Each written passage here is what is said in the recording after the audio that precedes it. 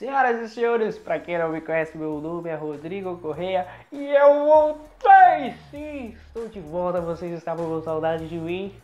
Não! Ah, eu também estava morrendo de saudade de vocês. Como vocês podem ver, a gente ficou mais de um ano fora do ar ali. Mas hoje vamos falar de quê? Vamos começar um especial de Copa do Mundo. Porque Copa do Mundo é tempo de alegria, é tempo de festa, é tempo de braço canuto, senhoras e senhores.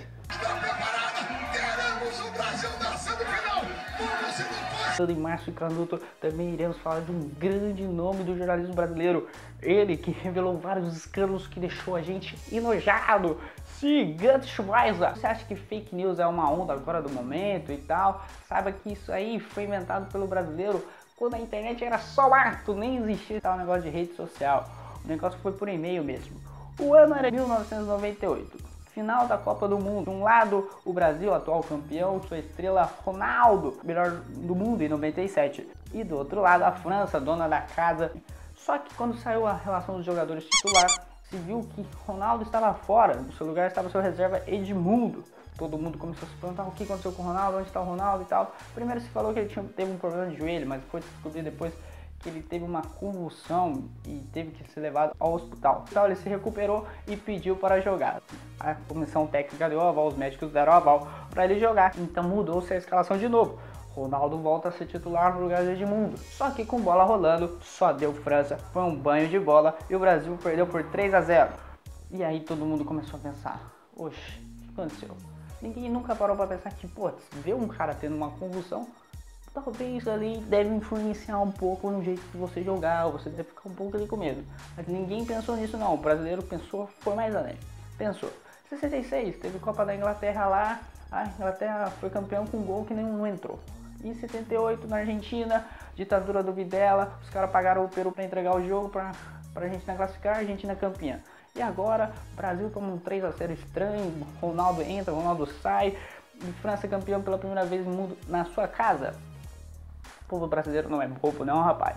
E assim foi divulgado o escândalo que todos suspeitavam. Com essas palavras, era começava um e-mail que se espalhou por todo o Brasil. No e-mail, o Brasil teria vendido a Copa do Mundo para a Nike, para a FIFA. É, a Nike, que era a nova fornecedora de material do Brasil, teria comprado todos os jogadores e oferecendo contratos exclusivos. Aí Leonardo teria soltado a célebre frase: Se vocês soubessem o que aconteceu na Copa do Mundo, ficariam enojados. Ronaldo teria se recusado a jogar, por isso o nome dele não estava na lista. Aí depois ele voltou atrás e foi por isso que o nome dele apareceu como titular. Mas onde entra Gunter Schweizer nessa história? Gunter Schweizer, assim como grande parte dos brasileiros, recebeu esse e-mail e aí, com seu dever de cidadão, espalhou essa notícia também, falando sobre essa sujeira que existia no futebol. Só que o e-mail dele tem uma assinatura fixa, sabe? Gutter, abraços Gutter Schweizer. E aí foi se espalhando isso aí com a assinatura dele. Aí imagine você recebendo o um e-mail do Gunter Schweizer falando sobre o lado mais obscuro do futebol brasileiro. Você vai acreditar? É lógico, o Gunter falou, tá falado, cara.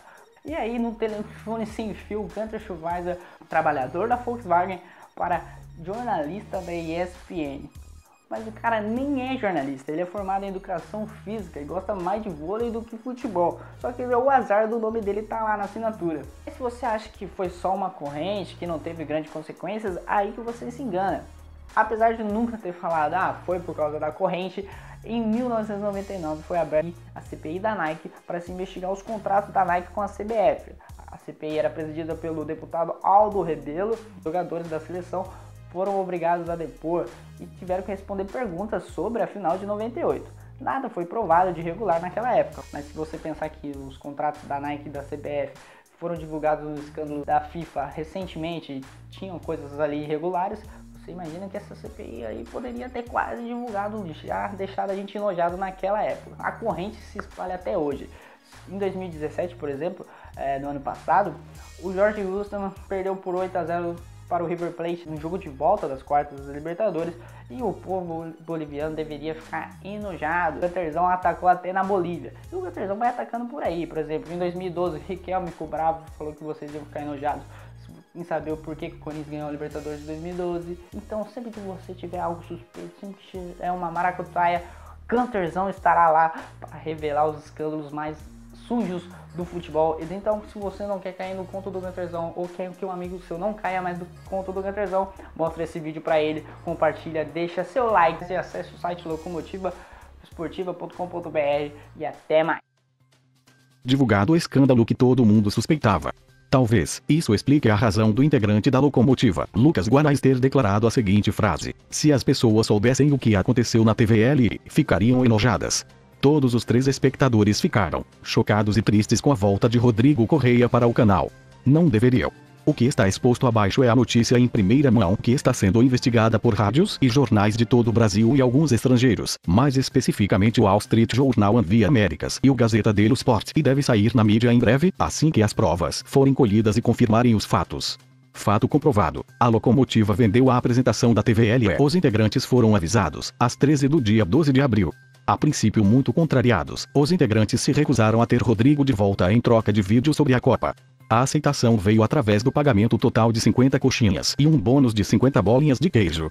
Mesmo assim, Gustavo Abraão se recusou a assinar, o que obrigou o jornalista diplomado Fábio Toledo a contratar o novo integrante da locomotiva, Vitor Toledo, dizendo que ele iria cobrir o 15 de janeiro. Garantiu, também, aos senhores Bruno Ribeiro, Gabriel Castro e Rafael de Luca, que eles teriam seu caminho facilitado para apresentar o TCC ainda em 2018. Por gentileza passem esta mensagem para o maior número possível de pessoas, para que todos possam conhecer a sujeira que ronda o jornalismo.